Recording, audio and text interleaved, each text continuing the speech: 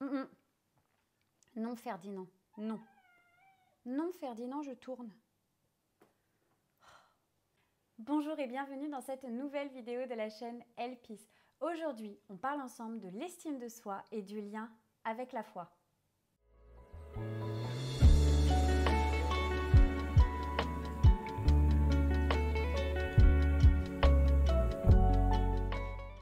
Alors aujourd'hui, on aborde ce sujet parce que je crois qu'il est extrêmement important de rétablir la notion de l'estime de soi chez les chrétiens et les chrétiennes. Mais si tu n'es pas chrétienne, n'arrête pas cette vidéo maintenant et écoute jusqu'au bout parce que ce que tu vas entendre va te faire du bien. D'abord, c'est quoi l'estime de soi? Eh bien, l'estime de soi, c'est tout simplement l'appréciation, l'estime que tu te portes. Et l'estime de soi repose sur quatre piliers. On a la vision que l'on a de soi, c'est-à-dire quel est le regard que tu portes sur toi. Comment est-ce que tu te regardes? Quelle est la vision globale que tu as sur ta personne? Poses-tu un regard plutôt positif ou un regard négatif? Ensuite, on a le deuxième pilier, c'est l'amour inconditionnel. Est-ce que tu t'épouses pleinement et tu t'aimes inconditionnellement, en dépit de ce que tu considères comme étant tes défauts, tes parts d'ombre, et pour tes parts de lumière et ce que tu considères comme étant tes points forts. Troisièmement, l'acceptation de toi. Est-ce que tu t'es accepté pleinement, globalement, entièrement? Est-ce que tu t'es choisi? Est-ce que tu as compris que accepter ta personnalité, accepter entièrement qui tu es, c'était vraiment une clé pour ton avancée dans ta vie? Et le quatrième pilier, c'est la confiance en toi. J'aimerais juste que l'on pose quelque chose tout de suite. L'estime de soi, ça n'a rien à voir avec euh, l'égocentrisme ou le fait d'être narcissique. Parce que plus tu vas avoir une estime de toi qui est solide, qui est ancrée, plus en fait ton regard sur les autres aussi va être sain et plus tu vas être une source de bénédiction pour les personnes autour de toi, tu vas pouvoir modéliser, tu vas vraiment pouvoir euh, inspirer les gens et les pousser à aller plus loin avec eux-mêmes. Donc c'est pas pour soi, mais c'est vraiment aussi pour pouvoir être une source d'inspiration et un exemple pour les personnes autour de toi et puis pour pouvoir les emmener plus loin. Pourquoi est-ce que ça pose problème l'estime de soi aujourd'hui? Alors ça c'est mon analyse. Mais en fait, j'ai remarqué qu'on a vraiment, euh, surtout dans le milieu chrétien, on a un peu deux mouvements qui sont totalement opposés on a soit vraiment une forte influence de la mentalité me, myself and I, avec des hommes de Dieu qui vont parfois un petit peu trop loin et se prennent peut-être un petit peu trop pour Dieu. Et puis, c'est vraiment, ça met mal à l'aise. Et puis, on se dit, mais attends, ça, c'est juste pas pour moi, je ne peux pas marcher là-dedans. Et puis, on a l'autre couloir. Alors là, on se glorifie de nos faiblesses. Et puis, en fait, je pense que c'est un peu euh, basé sur... Euh, un verset de la Bible qui dit euh, que en fait c'est dans nos faiblesses que Dieu vient agir et que du coup c'est quand on est faible que l'on devient fort. Et oui, il y a un principe là-dedans, c'est de dire qu'on se repose sur Dieu en toutes circonstances et que vraiment on se laisse à lui pour que lui puisse agir. Mais à aucun moment ça veut dire qu'on doit se dénigrer, qu'on doit se qu'on doit s'auto-flageller en permanence ou alors qu'on doit être une caricature de manque de confiance en soi. Ça n'a vraiment aucun rapport. Développer une bonne estime de, soi, j'hésite toujours entre estime de soi et estime de toi, donc bon bref. Développer une bonne estime personnelle, voilà, c'est vraiment quelque chose qui va te permettre de pouvoir endosser le mandat, qui va te permettre de, pouvoir marcher dans le couloir que Dieu t'a donné. Je ne pense pas, je ne crois pas que euh, homme de Dieu que ce soit et exemple biblique que ce soit, doutes sur la valeur que Dieu leur accordait et sur euh, la force qu'ils avaient en Dieu et tout ce qu'ils pouvaient faire s'ils étaient accompagnés de Dieu. Alors sous quel angle est-ce que j'ai décidé d'aborder cette question? Eh bien j'ai choisi deux passages bibliques. Le premier c'est le psaume 139 et le deuxième c'est le euh, verset 6 du chapitre 14 de l'Évangile selon Jean. Mais avant ça, qui suis-je? Je me présente, je m'appelle Johanna, je suis coach praticienne en relation d'aide et c'est moi qui ai créé cette chaîne. Le mandat d'Elpis est de t'aider à mener une vie connectée à Dieu pour que tu sois mieux connecté à toi-même et pour pouvoir impacter le monde autour de toi. Quelles sont les conséquences en fait d'une mauvaise estime personnelle? Premièrement, j'aimerais te dire spirituellement. Si tu crois que le fait d'avoir une mauvaise estime de toi n'a pas de conséquences spirituelles, tu te trompes. Dieu cherche un moyen de te bénir. Il trouvera toujours un moyen de te bénir. Tu as un trésor de bénédiction qui t'a été acquis à la croix il y a 2000 ans. Cependant, Si tu as une mauvaise estime de toi, tu vas aussi avoir beaucoup de mal à te saisir de ton identité en Christ. Tu vas avoir beaucoup de mal à te positionner spirituellement. Tu vas avoir du mal à accepter l'appel qu'il y a sur ta vie. Et donc ça, c'est une réelle conséquence et c'est pas euh, un détail. C'est pas croire que j'ai une mauvaise estime et quelque part c'est pas grave parce que euh, Dieu m'aime quand même ou j'en sais rien. Enfin, des fois, on a, des fois on a des pensées, on a des phrases en tant que chrétien qui sont juste catastrophiques. C'est pas un détail. Bien au contraire, il est important de prendre conscience que la mauvaise estime que tu te portes peut avoir de réelles conséquences spirituelles. Émotionnellement parlant maintenant. Avoir une mauvaise estime de soi, ça conduit souvent à avoir des pensées qui sont disqualifiantes, à tomber dans la comparaison, à avoir des mauvaises, euh, un mauvais regard que l'on pose sur soi, que ce soit sur ses capacités, sur ce qu'on fait, sur ce qu'on ne fait pas, ou alors même sur son enveloppe corporelle, sur son physique. Ce sont des pensées qui te mettent dans un état émotionnel qui est bas, qui est mauvais. Tu vas avoir tendance à ressasser. Et de nouveau, quel est l'impact d'une personne qui est tout le temps en train de se disqualifier et qui est tout le temps en train de se voir comme plus petite et qui n'a pas confiance en soi et qui a une mauvaise estime de soi?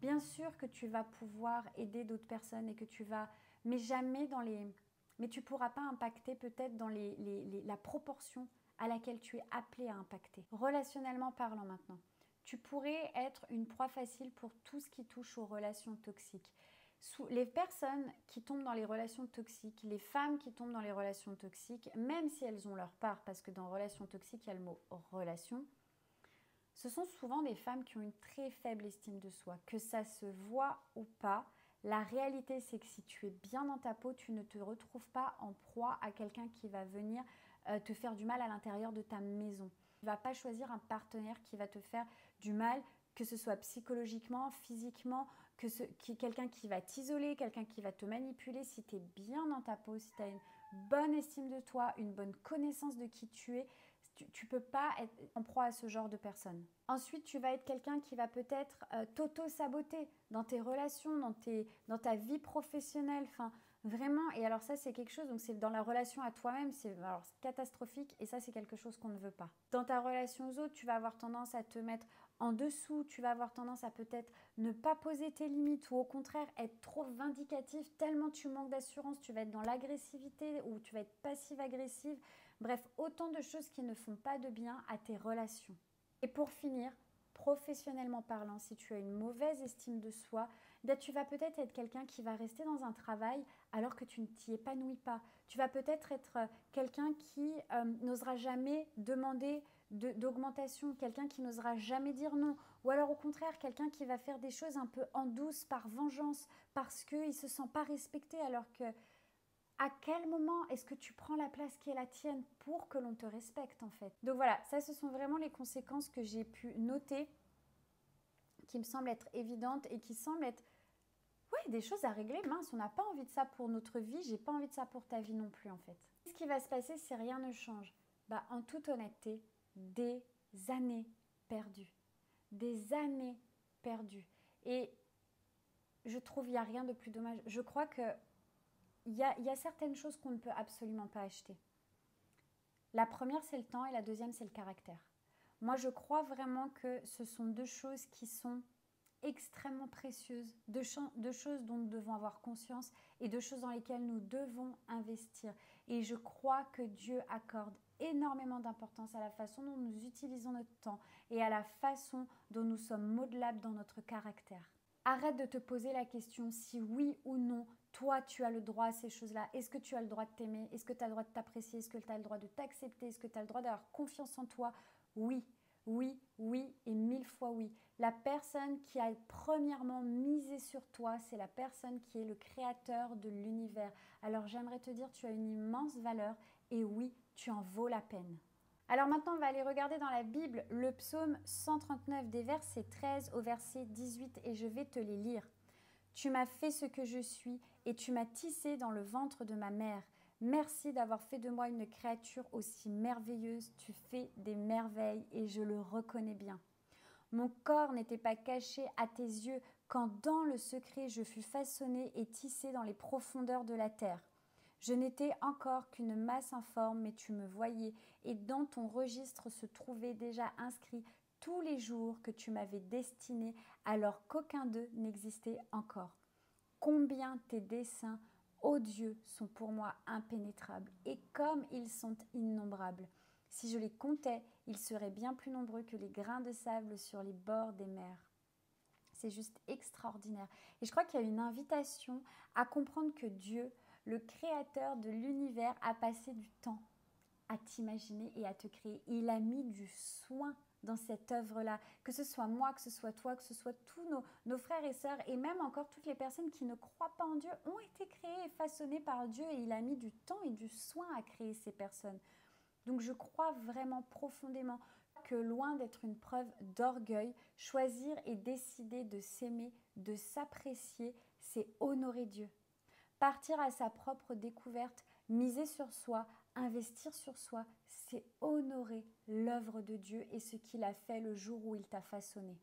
Et je crois que c'est vraiment hyper important de comprendre ça. Enfin, soyons honnêtes. Est-ce que quand tu passes du temps à préparer un plat ou quand tu fais une peinture ou quand tu fais une, du, je sais pas, peut-être que tu couds, enfin bref, quand tu fais quelque chose de tes propres mains, tu passes du temps, tu le fais tout ton cœur et au final, il y a quelqu'un qui arrive et puis qui dit j'aime pas, c'est nul, j'aurais préféré celui de la voisine ça t'atteint, ça te fait mal. Et moi, je crois vraiment qu'on ne se rend pas compte de l'impact, en fait, dans notre relation avec Dieu, euh, l'impact que peuvent avoir les paroles du style « Mais pourquoi tu m'as fait comme ça? Non, mais moi, j'aurais préféré être comme ci. Non, mais... Euh, et pourquoi moi, j'ai pas ça? Et pourquoi tu m'as mis ça ?» Enfin, au final, on demande des comptes au créateur de l'univers et non seulement je crois sincèrement que ça a un impact dans notre relation avec Dieu, mais ça a un impact envers nous-mêmes.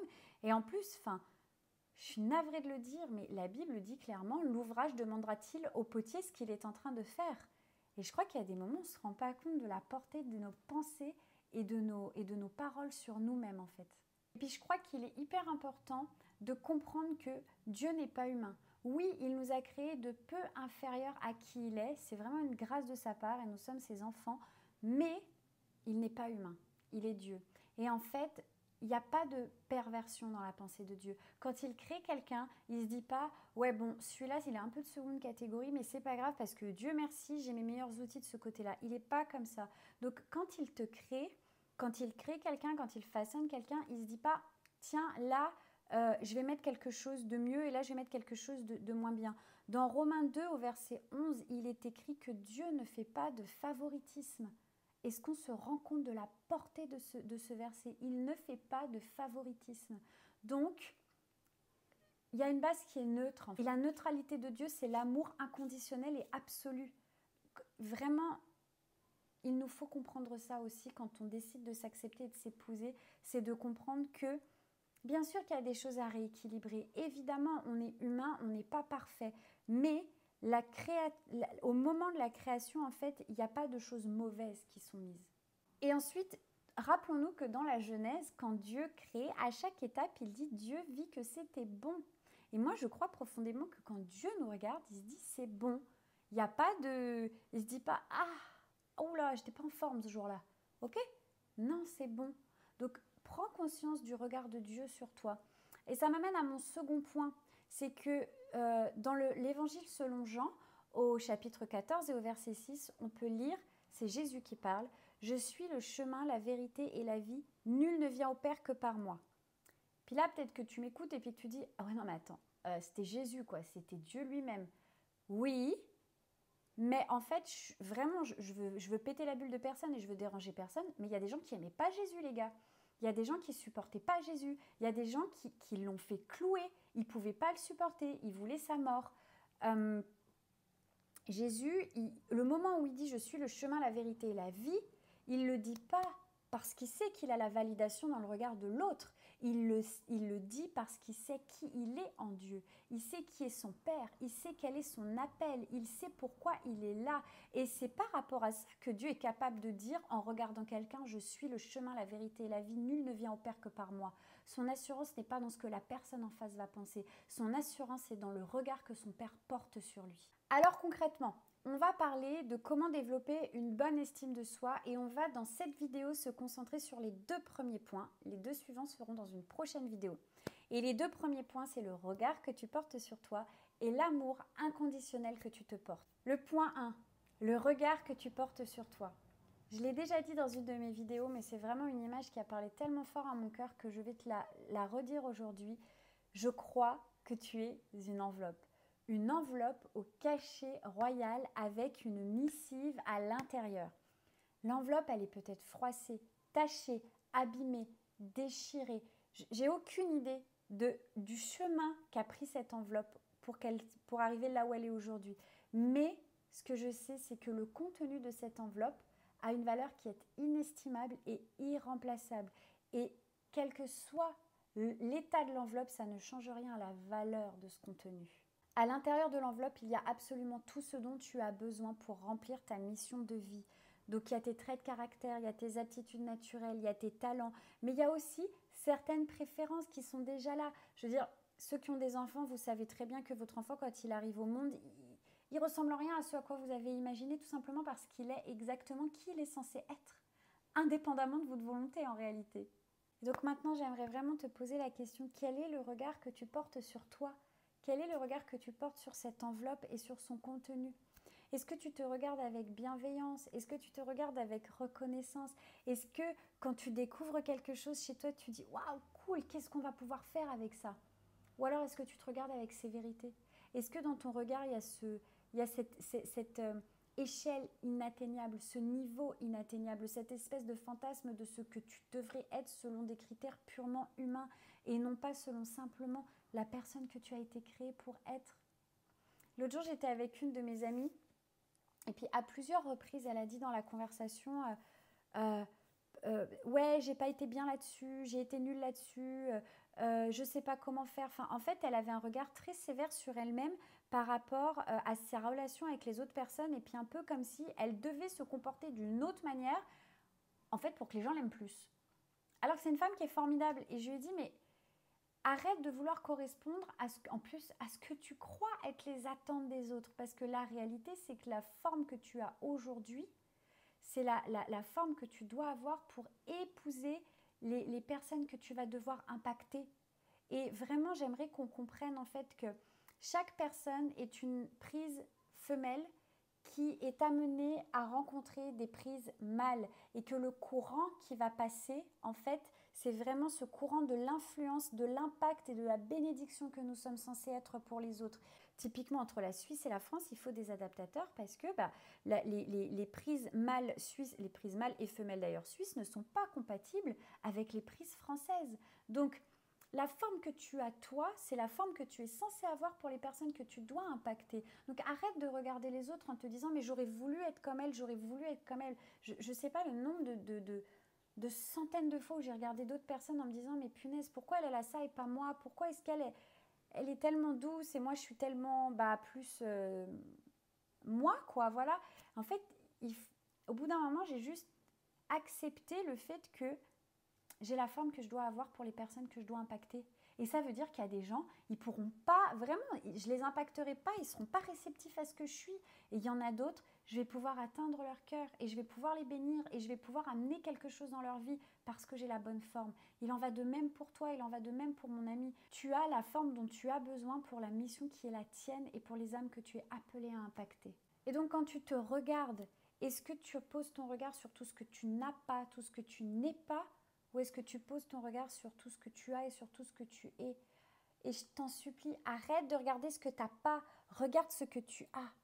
Parce qu'en fait, on se, on se, on se bloque, on se met dans une mentalité de pauvreté, de petitesse quand on regarde ce qu'on n'a pas. Tandis que si tu commences à regarder ce que tu as, ce que tu fais, en fait, ça te met dans une attitude de reconnaissance, de contentement. Et du coup, ça attire une abondance aussi sur toi. Et ça, c'est réel. Il y a des gens qui qui n'ont jamais ouvert une bille de leur vie, qui ont capté la, la mentalité de l'abondance bien mieux que nous qui sommes appelés à marcher là-dedans. Et je ne parle pas d'abondance financière, ne me faites pas dire ce que j'ai pas dit.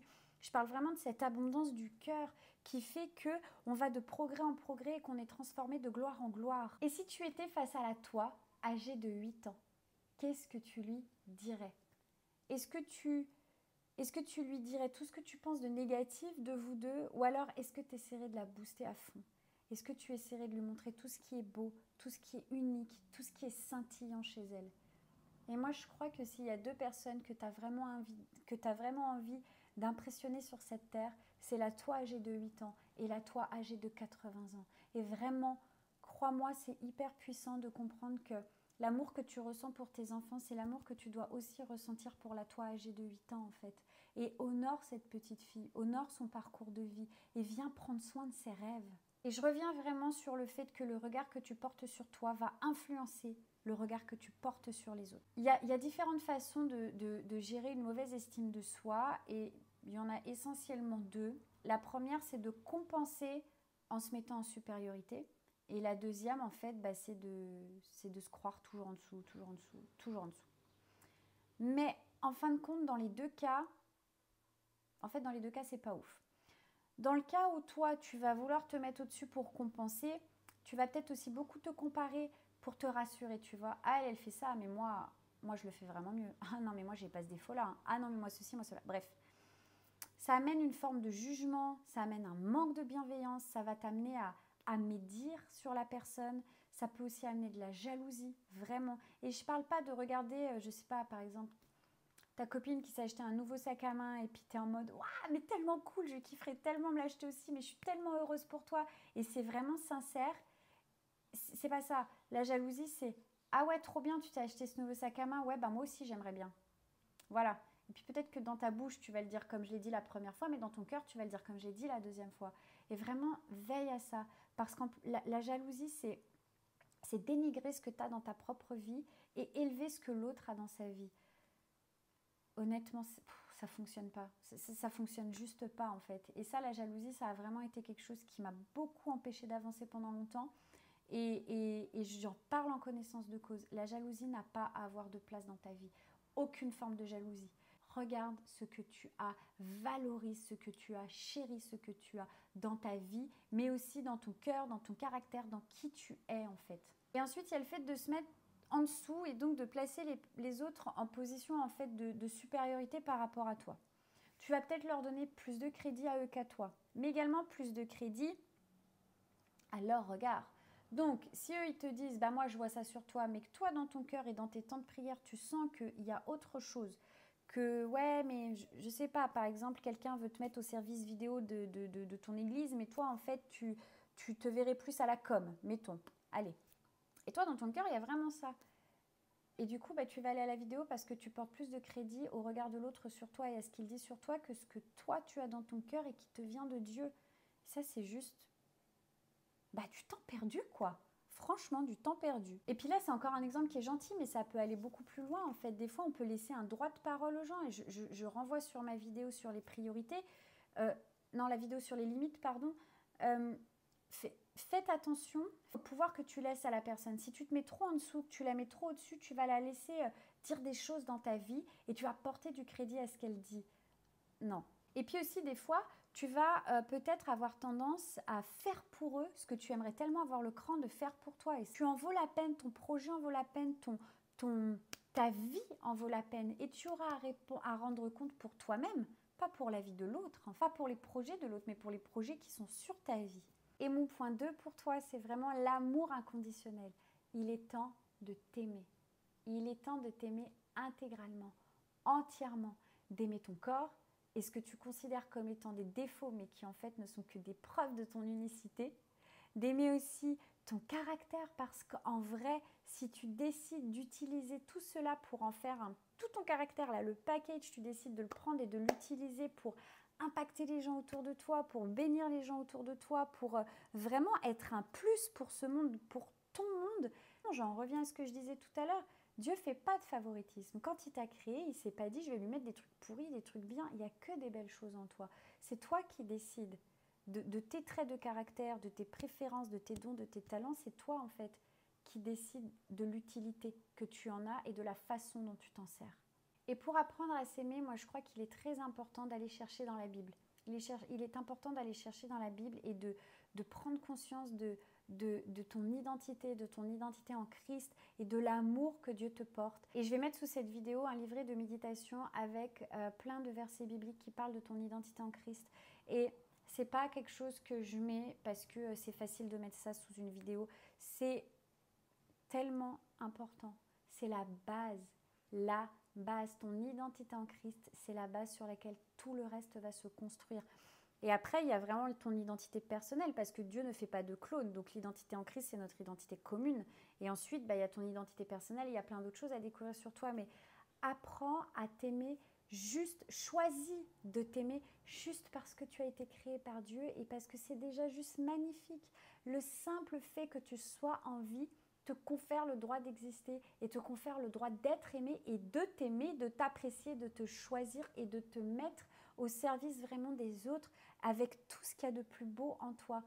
Tu es aimable, tu es formidable. Alors fais-toi le cadeau de décider et de choisir de t'aimer.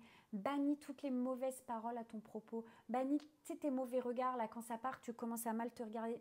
Interdis-toi cela. Vraiment, mets-toi en en auto-observation sur les jours qui arrivent, les semaines qui arrivent et note Vraiment, prends conscience du regard que tu poses sur toi et de la façon dont tu t'aimes ou tu ne t'aimes pas. Et fais-toi un cadeau. Fais-toi un cadeau, va, va, va te faire masser, va te faire les ongles, va, va boire un café toute seule au bord de l'eau, va faire une promenade, fais quelque chose au milieu de ta journée que tu n'oses pas tu n'oses pas t'accorder d'habitude, fais-le. Vraiment, je te mets au défi, fais-le, prends un temps juste pour toi, fais-toi plaisir juste pour toi, aime-toi. Voilà pour cette vidéo, cette première partie sur l'estime de soi et la foi. On se retrouve pour notre deuxième partie le mois prochain. Et en attendant, je t'encourage, en dessous de cette vidéo, tu pourras trouver le lien d'abonnement à ma newsletter, mais aussi le lien de téléchargement de ton livret sur l'identité en Christ. Je te souhaite une belle journée et je te dis à bientôt. Ciao, ciao.